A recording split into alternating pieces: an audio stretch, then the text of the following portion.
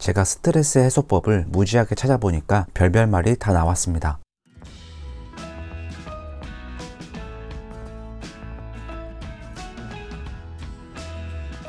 근데 그 각각의 스트레스 해소법은 단 하나의 진리를 관통하고 있었습니다. 자, 궁금해 하시는 분들을 위해 결론을 말하고 이것에 대한 부연 설명을 하겠습니다. 부연 설명까지 잘 들으셔야 확실히 여러분들의 머릿속에 오래 남을 겁니다. 자, 진리는 바로 스트레스를 주는 환경을 벗어나거나 그 저장된 기억을 잊기 위해 다른 것에 집중하기입니다. 지금부터 말씀드리는 모든 예시들을 들으면서 한번 잘 생각해 보세요.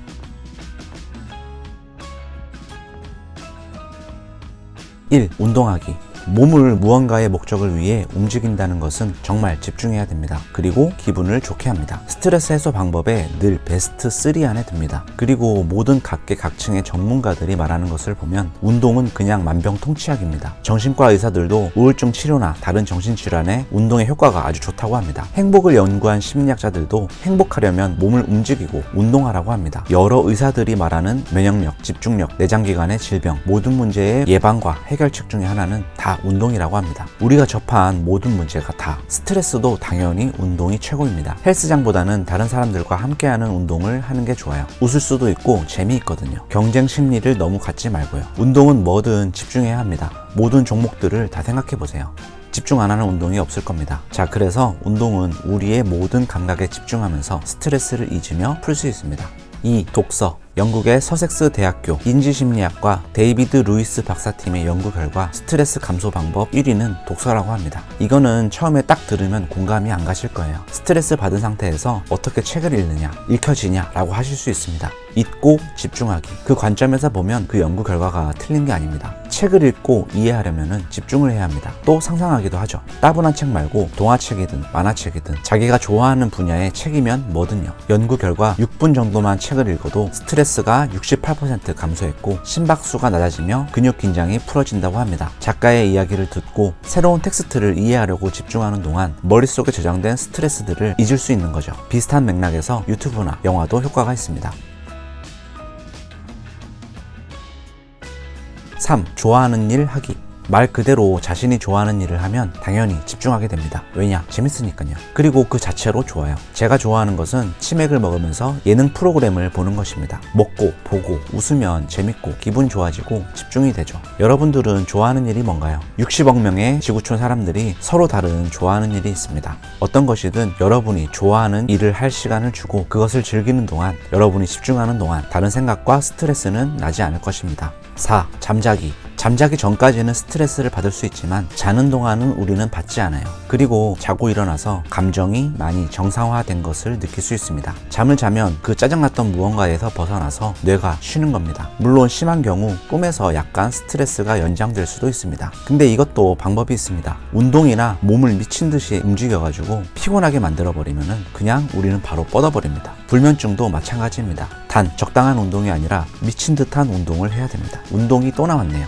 역시나 만병통치약. 자, 그리고 잠자기의 다른 측면을 보면 우리는 피곤하면 스트레스를 더 많이 받게 됩니다. 그러니까 스트레스를 받아들이는 문을 더 활짝 열게 해서 평소에 스트레스가 아닌 것이 이제 스트레스가 될 수 있는 것처럼 변모합니다. 피곤하면요. 몸이 만사가 다 짜증이 나는 것이죠. 피곤함을 없애주는 베스트 솔루션은 수면입니다. 피곤하면 자야 합니다. 몸의 피곤도가 낮아지면 역시 스트레스가 줄어듭니다.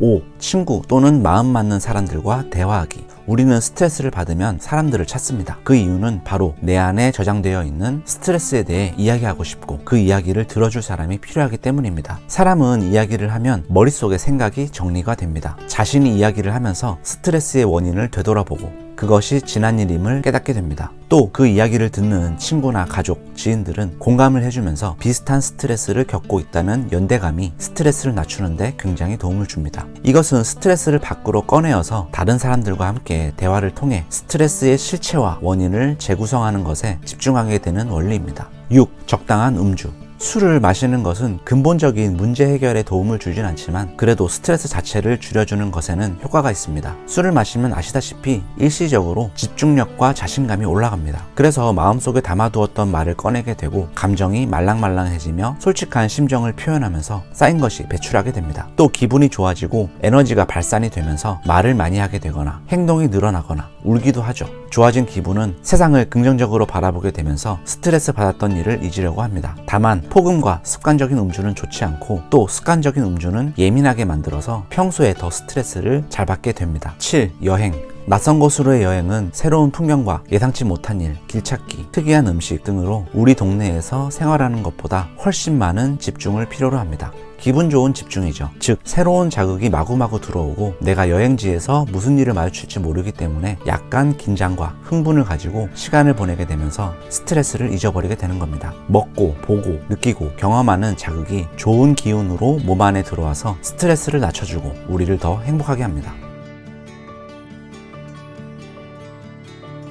자, 현실을 잊을 수 있는 것, 무언가에 집중하기는 이처럼 스트레스 해소의 근본이 됩니다. 쉽게 말해 빨리 잊고 다른 것을 해보는 것이죠. 앞에서 예를 든 모든 것들은 잊는 것에 기반을 두고 형태만 바뀌었을 뿐입니다. 그래서 여러분의 스트레스는 그냥 지나가는 구름 같은 연기 같은 현상이라고 말씀드리고 싶습니다. 그리고 하나 더 말씀드리고 싶은 것은 스트레스가 더 생기지 않기 위한 스트레스 유발 요인을 꼭 없애야 됩니다. 그 원인이 남아있거나 문제 해결이 안 되면 언제든 스트레스는 계속 쌓입니다. 관점을 변화시키든지 아니면 직접 용기를 내어서 자신감 있게 그 문제와 맞서 싸워야 됩니다. 이 세상 어느 누구든 스트레스를 받을 수 있고 스트레스로부터의 자유는 그냥 얻어지는 것이 아니라 싸워서 쟁취하는 것이기 때문입니다. 오늘도 시청해주셔서 감사합니다. 구독과 좋아요를 눌러주시면 더 좋은 내용으로 보답하겠습니다. 감사합니다. 안녕.